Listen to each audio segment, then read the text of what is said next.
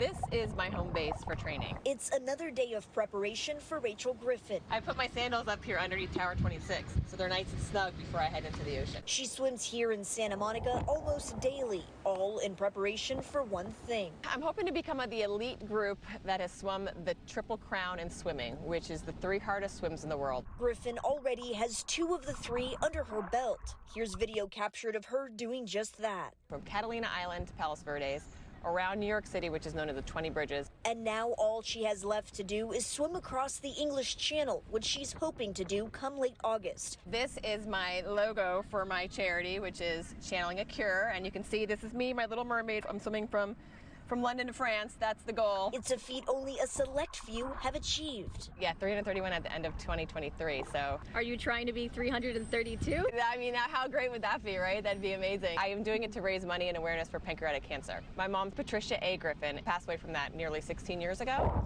Over the years, Griffin has trained in the ocean and swam thousands of laps inside the pool. It's training that's helped her raise nearly $100,000 over the last decade for the same cause. And so now, obviously, this year I want to double it because my goal is 100 grand just for the English Channel alone.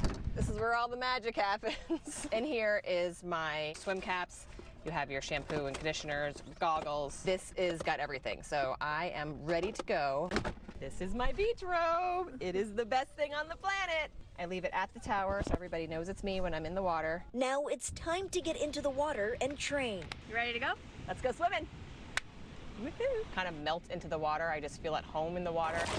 So I am channeling a cure with three amazing charities. The first one is Memorial Sloan Kettering out of New York City. This hospital took care of my mom when she was sick. The other two charities are based right here in SoCal. One is called the Hirschberg Foundation, based in UCLA, and then the other one is the Pancreatic Cancer Action Network. And pretty soon, Griffin will embark on one of her biggest adventures yet. They are not allowed to pull me out unless I am a floating corpse, so it's to France or die trying. In Santa Monica, Luz Delia Caballero, KCAL News.